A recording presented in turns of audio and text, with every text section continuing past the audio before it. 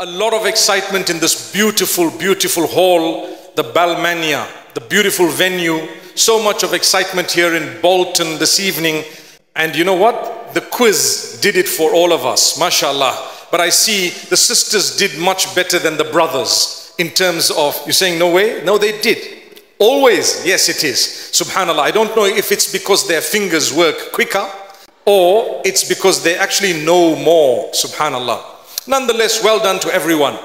When Allah subhanahu wa ta'ala created humankind, just try for a moment to imagine a globe or a world with nobody in it. No one, no human being in it. Allah had created the earth. Allah created the skies, whatever is between them. And Allah subhanahu wa ta'ala created Adam alayhi salam not on earth. He was created in a place known as the garden.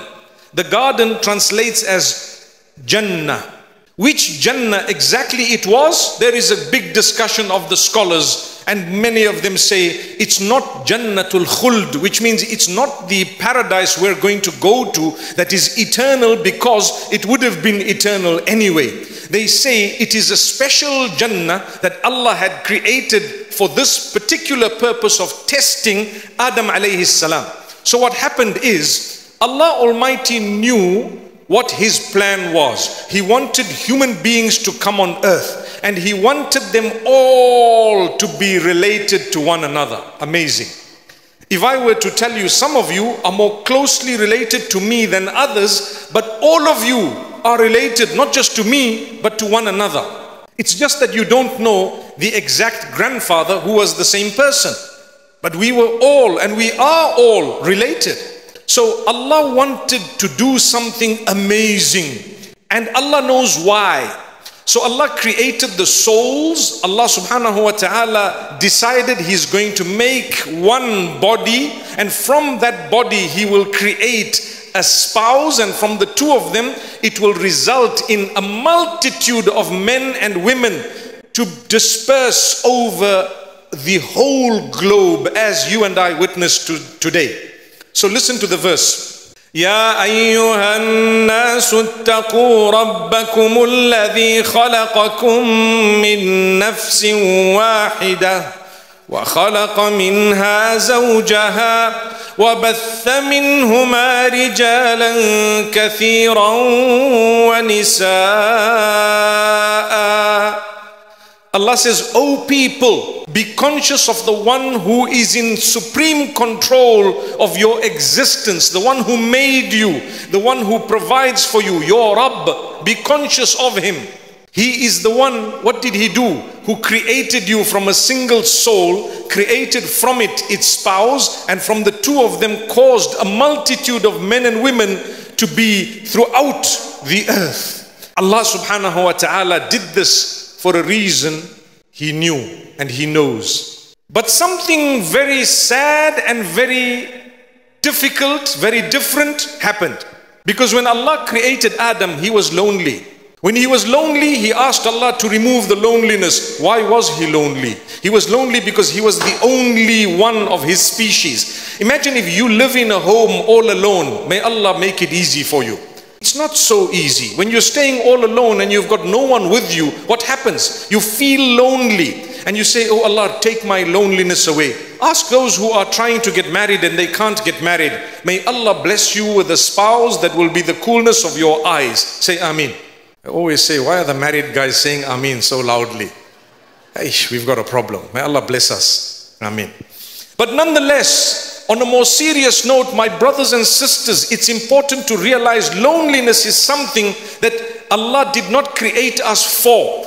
Unfortunately, we have to endure it, but Allah wants us to find a spouse, to actively look for one, whether it is simply nikah or whatever it is. We have Brother Shan here this evening, mashallah, and no matter what it is, we must make an effort. Our family members, our sisters, our brothers, whoever it is, try to match them. Try to introduce someone to them. Try to see, to get married. Try to look into it. And you know what I say to the people always? I say, don't look for certain qualities when you know you don't have the qualities that that type of a person would be looking for. I hope you understood that. It means I want a person who is praying. I want him to be handsome. I want him to be wealthy. I want him to be, you know, uh, dressed in a, in a smart way. I want to be him to be living within a 50 mile radius of me. I want him to be of this and I want him to whatever. Guess what? That guy is there. I can show you who he is. But the problem is he's not looking for someone like you. That's the problem. Do you get what I'm saying? So what's the solution? Make yourself a person whom the person whom you would be looking for would be looking for. Simple. May Allah make it easy. May Allah grant us all ease. So going back to Adam alayhi salam, he was lonely. He says, Oh Allah, take away my loneliness. Oh Allah, take away my loneliness. Allah Almighty one day blessed him with something, something unique. What was it? Hawa. Eve, may peace be upon her. And there we had Adam and Hawa. Narrations speak about what exactly happened at that moment. There are so many narrations, and actually, Judaism, Islam, and Christianity share some of these narrations in the sense that they agree to a certain extent with some of the things that happened and they disagree with some of the details. Nonetheless, what we have is sufficient for us. So he asks, Who are you? She says, I am Hawa. You've been created. She says, I've been created to give you company and to give you peace and so on. Allahu Akbar, amazing. They were then living so happily, so beautifully, but shaitan kept coming to them. And he kept trying something. When he knew that Allah does not like something, he kept on encouraging them to do it. And who did Allah tell the instruction to? He told it to Adam alayhi salam to say, this is paradise. This is Jannah. This is the garden. You can do whatever you want here. There is nothing prohibited, nothing that you need to stay away from. You can do whatever you wish. There is only one tree that I don't want you to go close to. Don't eat from its fruit. Don't eat from its fruit. Adam alayhi salam knew this. Shaitan kept telling him, you know what? You want to live long. What was the discussion about? Death was not even spoken about at that point. You want to live forever. Do you want to have more than what you actually have? If you want to have more, and he had everything, then you have to do something. And he kept repeating it, kept repeating it, kept repeating. When repetition happens, people begin to believe what is being said, even though it's a lie. Like you notice the news right now about Gaza and what's happening in Lebanon, the most immoral army in the world keeps talking about how moral they are moral, moral. They've been saying it from before. The reason why they say it is because they've planned immorality. They need to con the world into believing by repetition alone that we are moral. And they will get a standing ovation where they go, moral, very moral, and so on. They keep telling, they keep repeating the same thing. This is our land. This is our land. It was ours. It's biblical and so on. It will keep happening. They will keep saying that. The reason is that repetition is what will brainwash the people of the globe. Shaitan's plan from the very beginning. His plan is repeat, keep on saying the same thing over and over again. Why do you think Allah has instructed us to call for the prayer five times a day and to repeat those words when you're about to pray again? Subhanallah. It could have just been said once, you guys have to pray five times a day. But there needs to be a common said, look, to be honest, you know, two times. Someone said three times. And so it's, it's a fact. We know we're supposed to be praying five times a day. If you're weak, admit it that I'm weak. But aim at the five. Subhanallah, aim there. Oh Allah, strengthen me. Make dua. Oh Allah, grant me the strength to do the right thing. Oh Allah, I'm weak gosh, I missed the Fajr again. Oh, I missed Asr again. It must make you sad. That's a sign of the mercy of Allah. Because without that sadness, you're not going to go into the right direction at all. Please, when you're doing something displeasing to Allah, admit it that this is displeasing. Within yourself, admit it at least. Don't justify it. Today we're living in an age of justification. People will come and say, I don't need to do this because I don't find a verse of the Quran saying you have to pray five times a day. It just says pray. So I pray. Oh, now there is no hope for you because unless you turn holistically, Allah wants you to turn one day, but because you're justifying that you don't have to pray. And where did you get that from? You're saying, well, not five times a day because where in the Quran, my brother, there is a whole sunnah of the Prophet ﷺ. If you don't believe in it, you have not believed in the Quran. Because the Quran tells you to adopt the sunnah. There we go. The Quran tells you to get the explanation from the Prophet Muhammad, peace be upon him, for nearly everything. So don't just drop out. Come in, admit it. Say, look, oh Allah, I'm weak. Strengthen me. And when you make a dua to Allah to strengthen you, work hard. I'll give you an example. You can't say, oh Allah, strengthen me to get up for Fajr, and then you haven't set an alarm. Or your alarm rings, you snooze it and say, well, Allah will wake me up. I made dua. And then you see the sun rising and say, inshallah, I'll be up just now. And then the sun rises and you got to go to work. You say, well, Allah didn't get me up for Fajr, but I'm up for work. That's nonsense. No way. If you're making dua to Allah, oh Allah, strengthen me to fulfill my Fajr, you must definitely make an effort and push yourself off that bed. Wallahi, when you get regular with the Fajr and four months pass, inshallah, if you have not missed Fajr or you've hardly ever missed it at that particular time or during that time, you get to a point where time of Fajr, your eye opens before your alarm. Wallahi, I promise you. I'm sure many of us have that experience. Your eye just opens and there's five minutes remaining for the alarm. And subhanAllah, why? Because you got yourself used to something Allah created you in a way that your body will acknowledge it.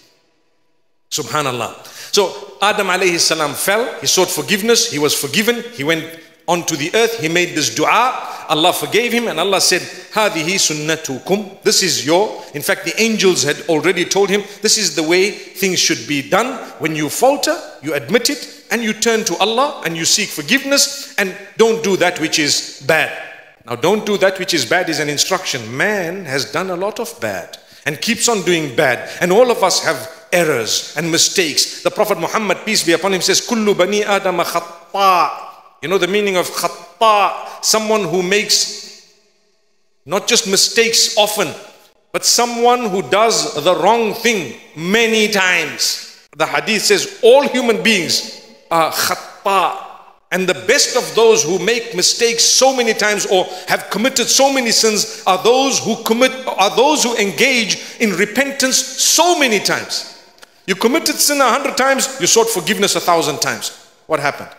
I'm not encouraging you to do something wrong, but I'm telling you, we're living at a time and generally in a space where a lot of negativity is happening. So much pressure on our boys, our girls, our men, our women to do the wrong thing. So easy to transgress, but to do the right thing is a little bit difficult. It's becoming more and more difficult. That's from the hadith. The Prophet Muhammad, peace be upon him, spoke about it because it's from Allah. Allah knew what's going to happen here in the 21st century and what will happen even later. Allah knew that you're going to walk out on the street and you're going to watch so many things. You're going to be the most polite, the most genuine, the most sincere believer. Because you have to respect everyone around and you have to at the same time navigate your faith in the midst of the environment that you're living in. So subhanallah, alhamdulillah, la ilaha illallah. While you're walking, try to be conscious and wherever you've done something wrong, remember Allah is merciful, He knows. The hadith says there will come a time al-qabidu ala dinihi kal-qabidi ala jamr. There will come a time when a person trying to hold fast on his faith will be similar to one who's holding a red hot coal. What's a red hot coal? Red hot coal, you pick it up, it, you drop it. You pick it up, it burns you, drop it the other side. You pick it up again and you've got to keep picking it up. That's what you've got to do. May Allah subhanahu wa ta'ala grant us ease. So we're living in an age where it's not so easy. Don't lie to yourself and don't fool yourself. It's difficult out there. Your children will probably find it more difficult than you and their children will find it even more difficult. And that's the reason why today we are here at Balmania. Mashallah, what a beautiful place. Why did we gather? We gathered, mashallah, we, we give everyone the opportunity to reach out to the struggling brothers and sisters across the globe. Mashallah, that's a good thing. But more than that, to be able to touch the hearts to connect with Allah, even if it is step by step, connect with Allah. You will never regret. Nobody has ever regretted their connection with Allah. Nobody.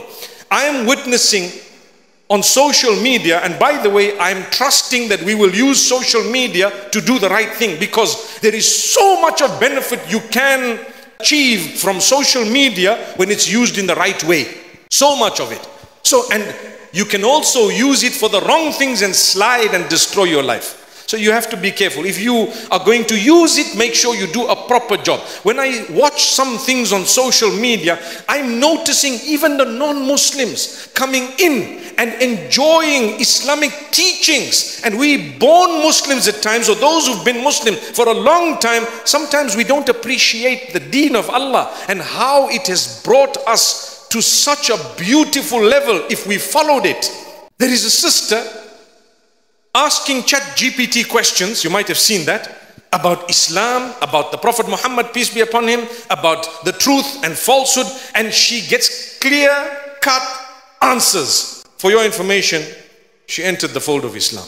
And subhanAllah, everyone got to see and watch and witness. Who is that? A person who was not a Muslim not too long ago. And you and I? How many years are you Muslim? Most of those here in this venue or at this venue were born Muslim.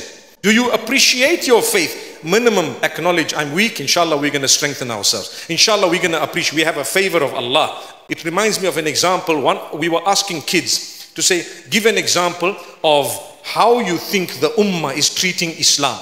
You know what one child says? Uh, well, uh, uh, almost teen, maybe 12 years old. He says, it's like a person who has a Rolls Royce. Listen to a child's example, right? a person who has a Rolls Royce but still wants to drive their Prius. I'm thinking, what did you just say? A person has a Rolls Royce and still wants to drive a Prius. I said, but maybe they want to be humble. Maybe. He says, no, the Prius doesn't work. I okay. The Prius doesn't work. Okay. What does what is the child trying to say? You have something so valuable, but you still want to be stuck in the rut. Basically, that's the message of the child. You have a Rolls Royce. Roll, man. Come on, roll on, my brother. Let's see it, man. Subhanallah. Did you notice? Two expensive things start with R O R O L. What else starts with R O L that's valuable? Rolex. The brothers know it straight away, man. Mashallah. So they call it, that's why they say, look at him rolling because he's got two rollings. One is a Rolex and one is a Rolls Royce, right? May Allah forgive us. We want to roll into Jannah, inshallah. May Allah Almighty bless all of us. My brothers and sisters, enjoy being a Muslim. I promise you.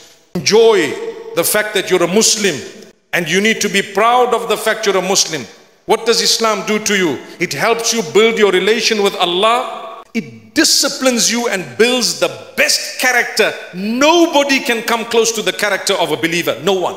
If Islam teaches something, trust me, it is beneficial. And if there is anything truly beneficial out there, Islam has taught it. They didn't, there's nothing forgotten.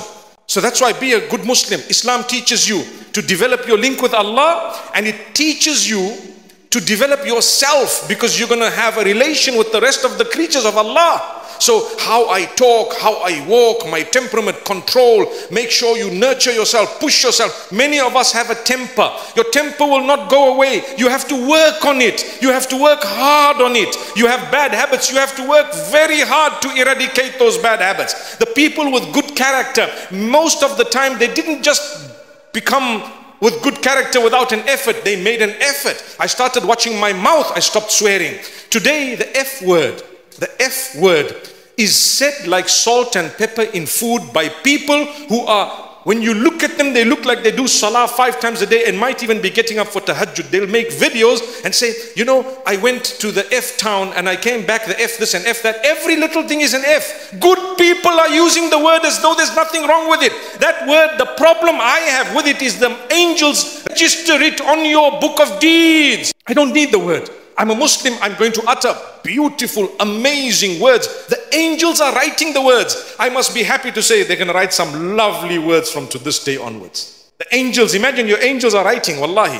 ما يلفظ من قول إلا لديه رقيب عتيد Body can ever utter a word except that there is someone taking a record of it. The angels are writing it down.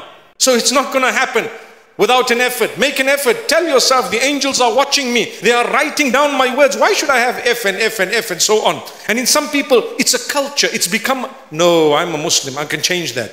If your friends have it, don't use those words. Use good words. The angels are writing your you. Use amazing words. Become a person who's so pleasant that when someone sees you, they are happy to meet you and talk to you because the way you talk itself is healing. It's healing. Some people, you meet them, you're a happy person, you become depressed, right?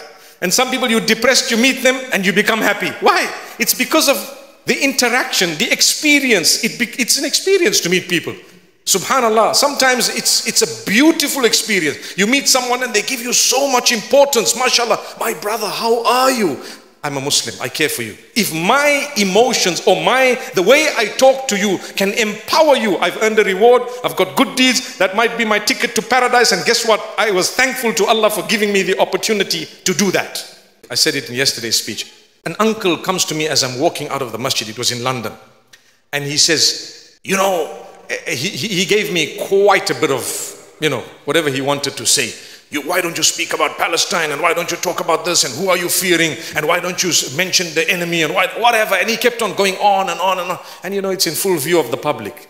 My brother, I love you. We all care for Palestine. We all know who the criminals are. We all know whatever. We've done a lot, whatever we could. We know what we've said. We know what we've spoken. We know we've called it a genocide. We know every, we know a lot. And we've done more than your imagination. And I'm not doing it for you or anyone. We're doing it for Allah. I know all of this in my mind.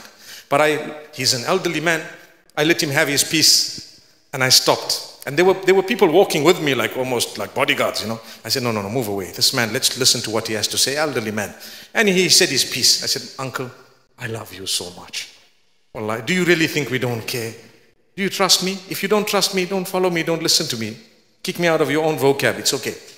But you trust me. If you trust me, trust the fact that I am doing whatever I can. Maybe not exactly how you want it, but I know what I'm doing. And I know things you don't know. And I have done things you wouldn't imagine I would have done. So, uncle, I want to give you a big hug because I love you. If anything happened to you, I would be the first one to defend you. He just looked at me. I said, and he gave me such a big hug.